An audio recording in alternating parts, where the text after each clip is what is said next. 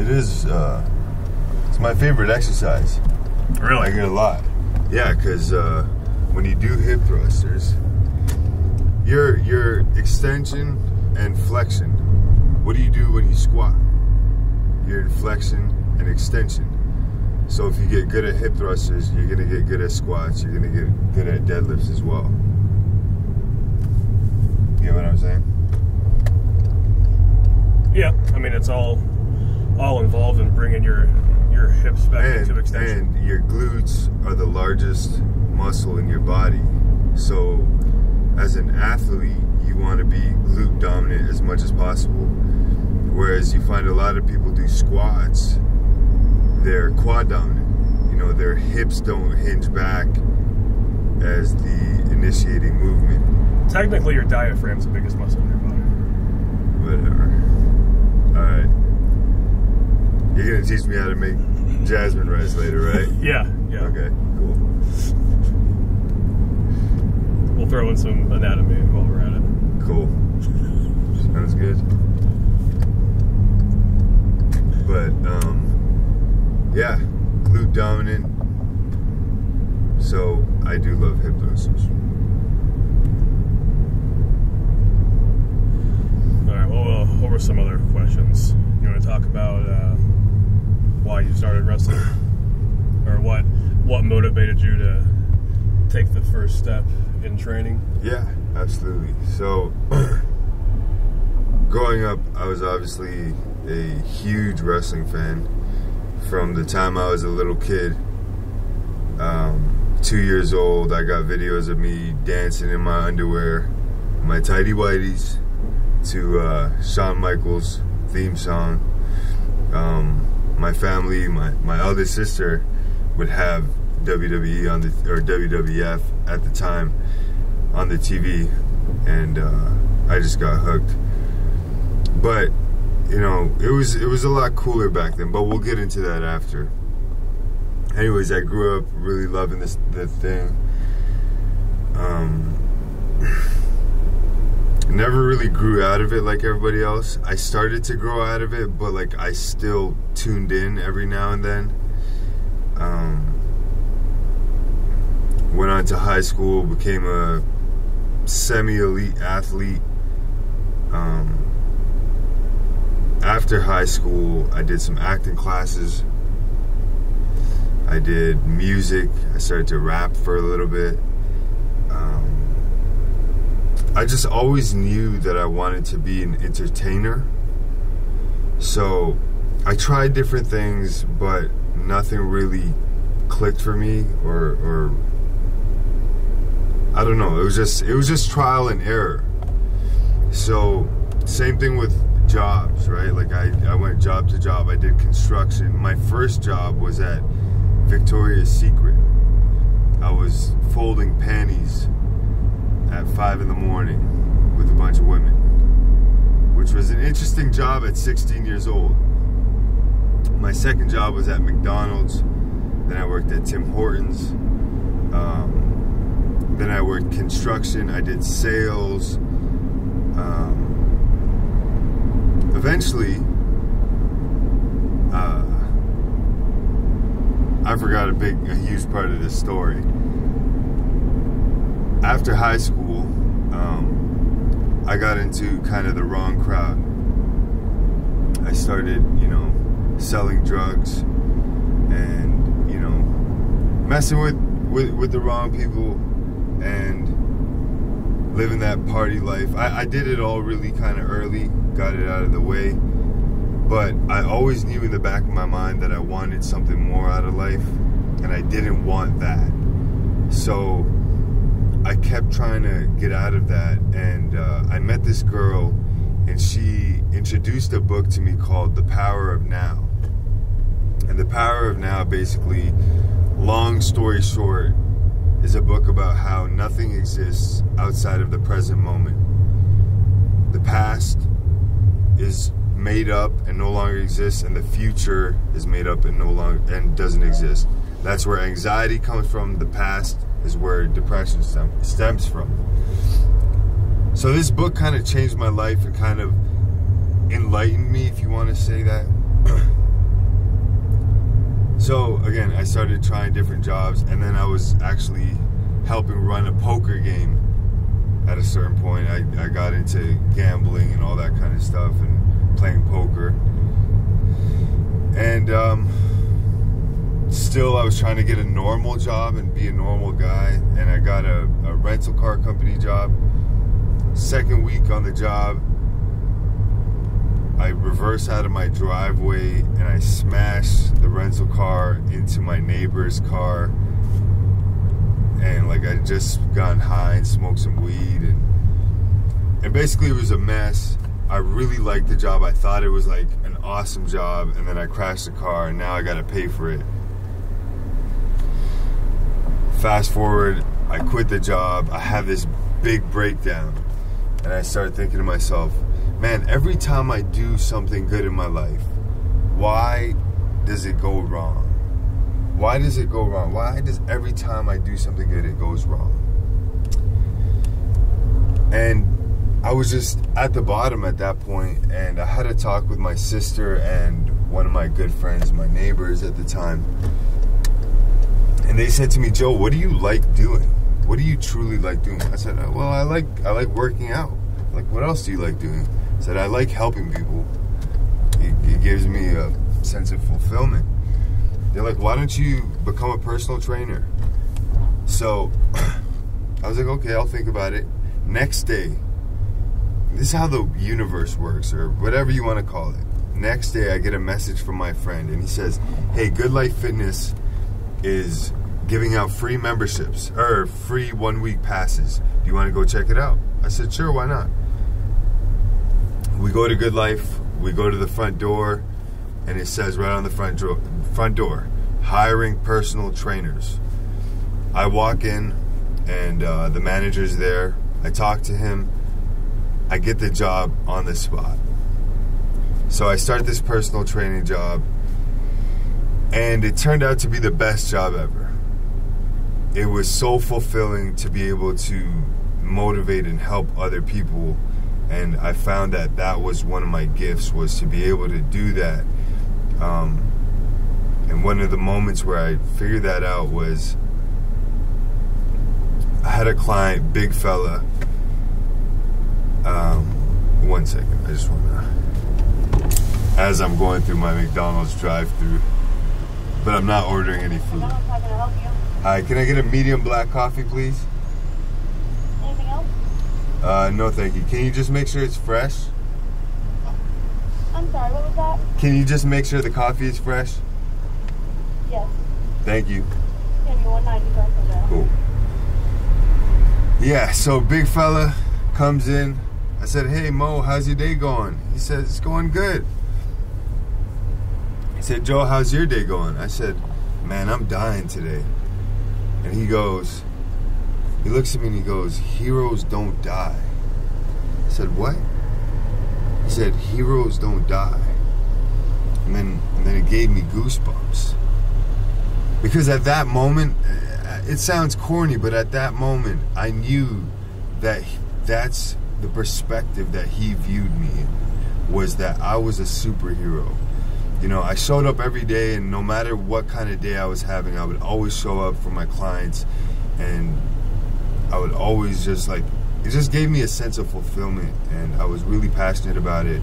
I had this one client; she was she had Down syndrome, literally the most joyous, best person ever, and um, people would. Did you just laugh?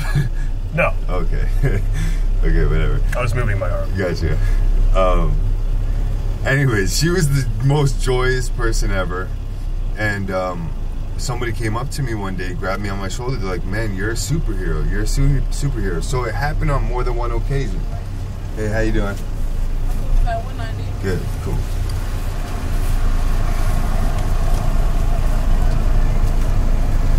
Twenty dollar bill for you. Here you go.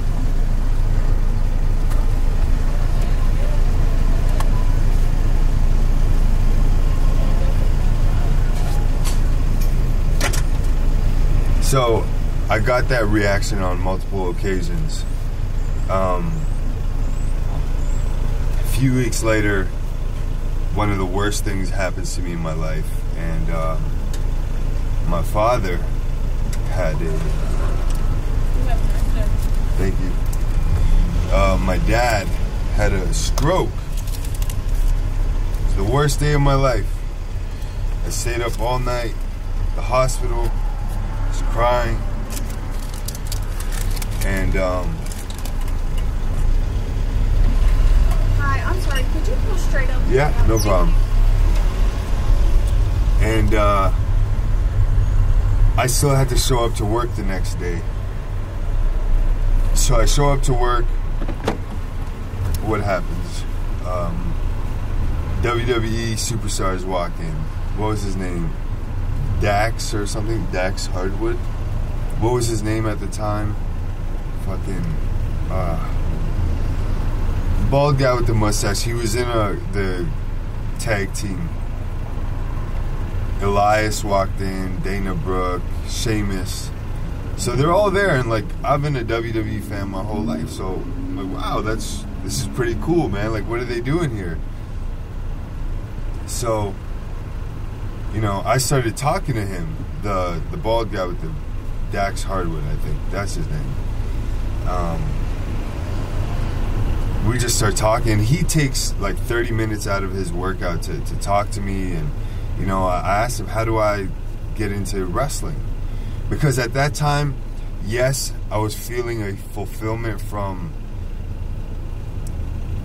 personal training and inspiring people, but I didn't really like having to write programs. I wasn't passionate about doing all that kind of stuff.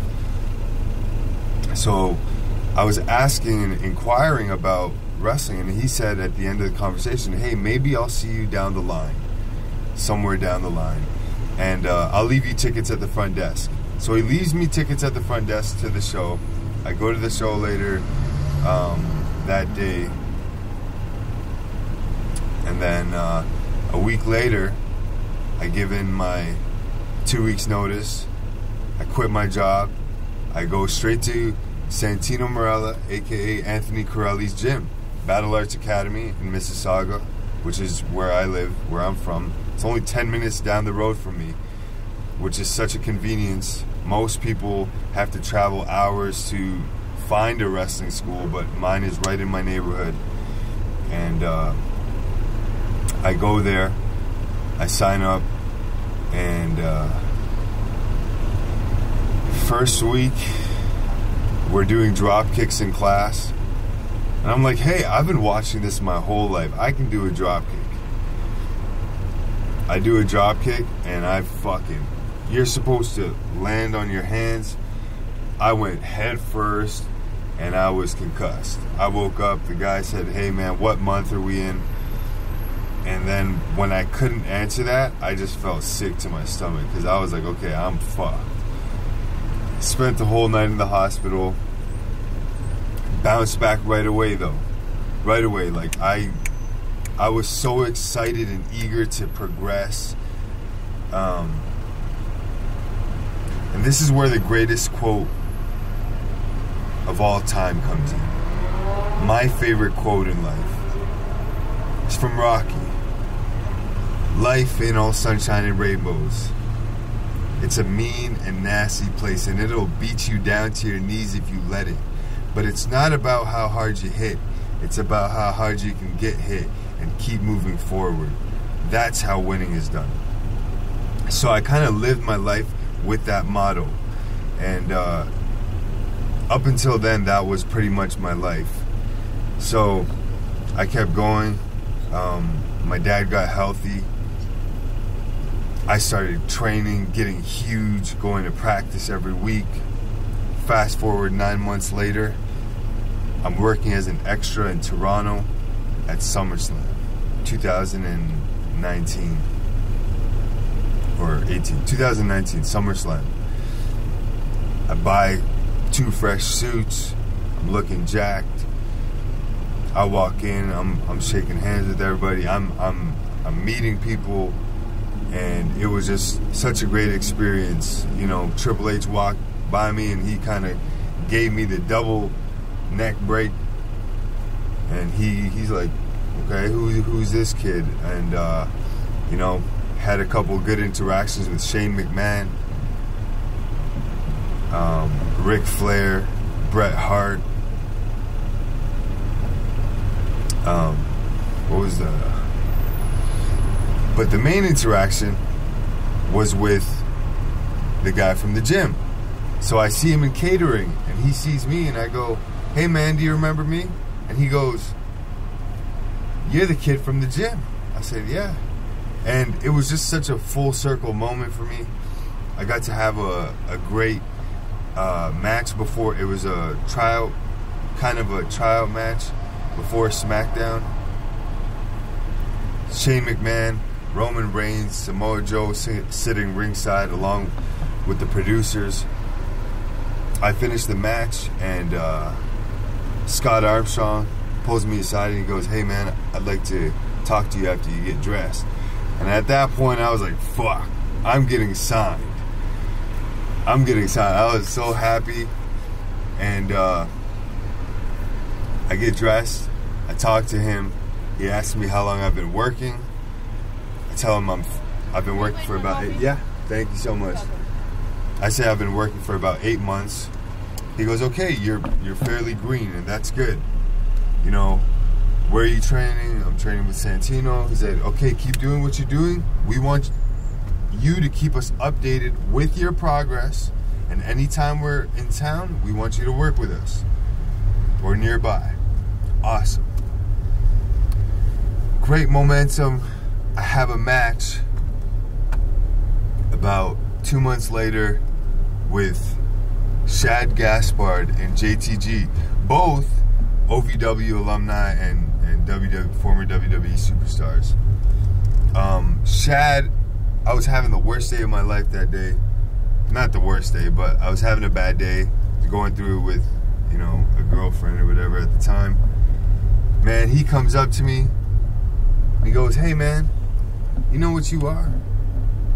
Said, "Hold up, I, I'm gonna send you something." He texts me Wikipedia the definition of what tall, dark, and handsome is. And he says, "You know that tall, dark, and handsome has been the woman's ideal from the beginning of time." So like he was just kind of reminding me of who I was and to like pick my head up and not be you know down about a girl or whatever it was I was going through. And like he spent the next 9 hours literally teaching me things about wrestling, telling me stories and just being a big brother to me and that meant the world.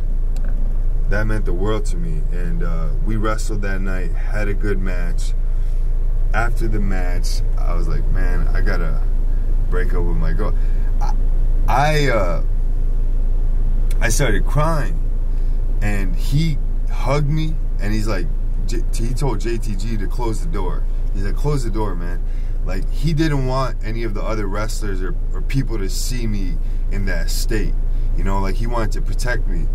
And um, after the show, he's like, hey, man, come, come out for dinner let's go let's go eat and like he didn't have to do that i was just some new green ass kid in the business and and he was going out of his way to do that and then like five months later um, you know the tragedy happens. He goes uh, he was on venice beach with his his little boy. They're both in the water. The water takes them out and uh, you know, the lifeguards saved his son, but they weren't able to save him, and uh, he kind of he died a hero. But I remember that day, like I saw a post, like Shad Gaspard's gone missing, and I, and I know he's kind of like he's a bit of a joker, and uh, I texted him. I was like, hey man, I I hope this is some kind of funny joke, man. And then like later we got the confirmation that it wasn't, so that kind of really fucked with me and uh, you know it was just it was really tough it was a big loss for the wrestling community and then right after that the pandemic happened so now i'm just lost. I'm i don't know what to do with my life. I don't know if the world's gonna restart again. Um, i don't know if i'll ever wrestle again. And basically you know I took the pandemic as a, a time to really kind of find myself, and I, I went on a ten day fast, which was like a really spiritually enlightening experience. But you know, that happens. The pandemic happens. We don't know what's gonna happen. Um, things after a year and a half or two years, things start to slowly open up. I get into car sales. You know, I, I, I figured I, I need to pick my career. I get into car sales. I start selling cars. My first month selling cars, I sold 25 cars. I was the top salesman of the month. Second month, I sold 23. I was top salesman again. Third month, I sold about 17. And then fourth month, we had no cars on the lot. We were going through a time and a period in the car industry where there were no, there was a huge shortage in cars. So now I was just sitting at the dealership, twiddling my fingers all day, not really making money. Um, so I figured, you know what, man? Even even with all the money that I'm making here, which by the way was a very lucrative, the car industry is a very lucrative business, and uh, I made so much money in that three months. Um, I said, even with all the money, this is not what I want to do. Like, I'm gonna finish. I don't even want to say. I'm gonna finish my story and, and do what I want to do with my life. And the reason why I started professional wrestling was to be that superhero, was to inspire young kids and, and men and women in the world, like not only just young kids, but people to strive and, and do what they want in this life. You know, you only live one life. Which life are you waiting for to do the things that you want to do? Which life are you waiting for to marry the person that you want to marry? Which life are you waiting for to buy the car that you want? So I figured out my purpose in this in this life.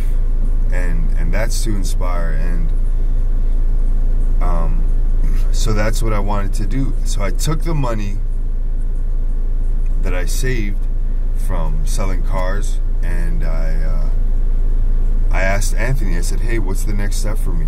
What is the next step for Joe Mack? And he goes, why don't you try OVW? Way too hot. Um, try OVW. So, with no questions asked, I picked my shit up. I left my family behind. I left everything behind and I went to Louisville. I drove down 13 hours to Louisville, Kentucky from Canada, not knowing a, a, person. Came down to Louisville, Kentucky with my buddy Matt Black, who's also a wrestler from Battle Arts. We came down and uh, and then it was a wrap from there. You know, I originally came to, to just train with Al Snow for a few months I had only budgeted for three months. Two months in, they go, "Hey, we want to cast you for a Netflix docu series. Would you be interested in staying?" I said, "Fuck yeah!" Like, how can I say no to something like that? You know. So, basically, I end up staying. Um, you know, I'm fortunate and so blessed to have parents that love me so much and like you know my parents support my dreams. So like my dad helped me out and uh, i got to stay longer. Had the best summer of my life. I grew so much.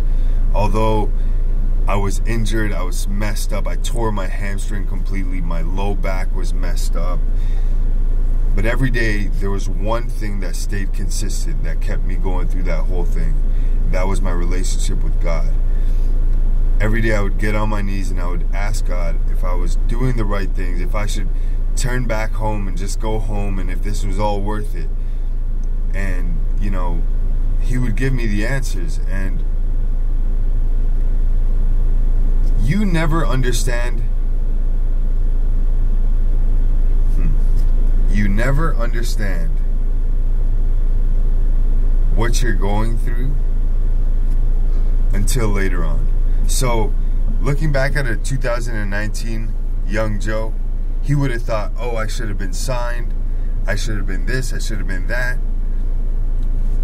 But fast forward to 2022, I realized that the timing wasn't right. And that you have to trust in the process and have faith in something. Have faith in God and have faith in yourself. That His plan is going to work out at the perfect timing.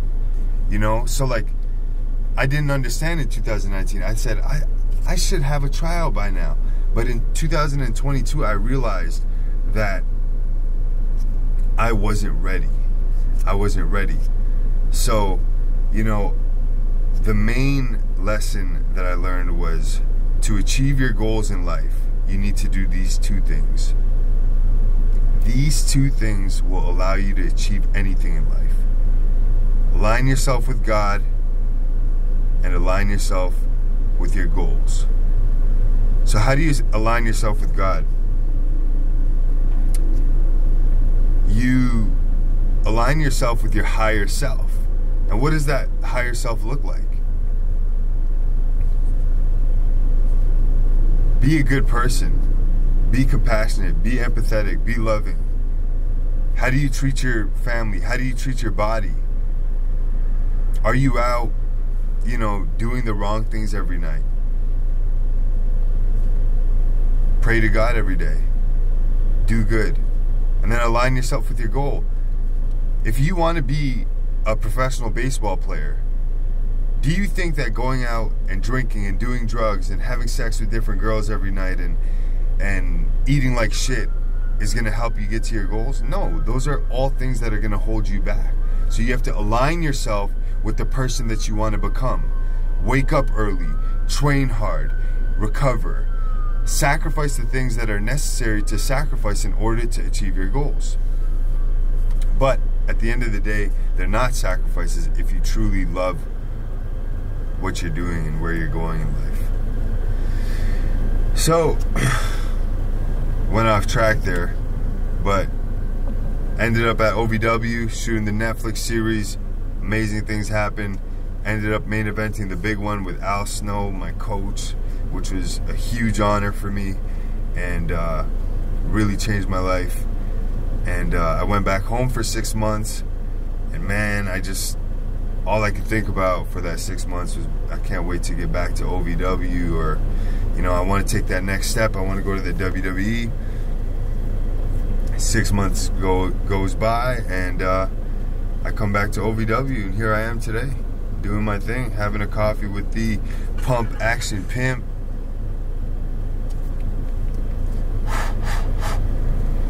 So, yeah, there you have it.